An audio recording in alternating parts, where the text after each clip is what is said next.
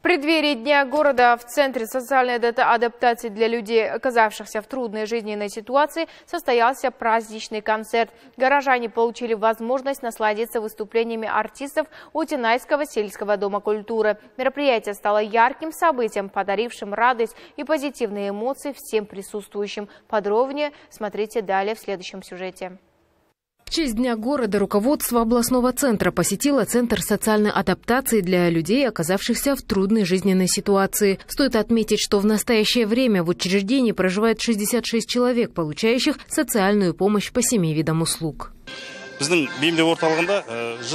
В Центре адаптации мы проводим различные мероприятия, направленные на улучшение качества жизни получателей услуг. Цель таких акций – отвлечь наших постояльцев от каждодневного быта и проблем, а также подарить им радость. Мы понимаем, что многие из них проходят через сложные жизненные ситуации и стараемся оказать им всевозможную помощь.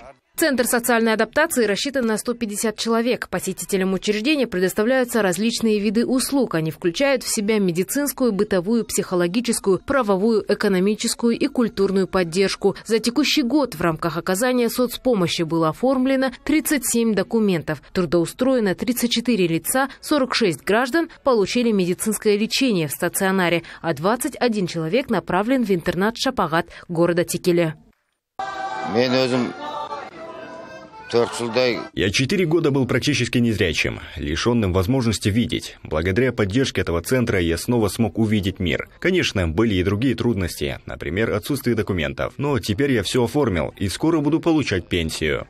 Для получателей услуг центра выступили певцы и артисты Отинайского сельского дома культуры. Их концертные номера, а со сцены прозвучали традиционные народные песни, затронули сердца публики, вызвав бурные эмоции и аплодисменты. Айгерим Коппаева, Жаркын Нурлан Улы, Жайык Курманбаев, телерадиокомпания «ЖТСУ».